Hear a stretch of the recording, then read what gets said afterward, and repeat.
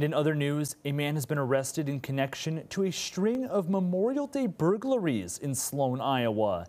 That suspect is 49-year-old Michael Lindgren of Sioux City. According to the Woodbury County Sheriff's Office, Lindgren is accused of burglaries at four different businesses in Sloan, all during the morning of Memorial Day. Officials say he caused about $1,700 worth of damage to the businesses.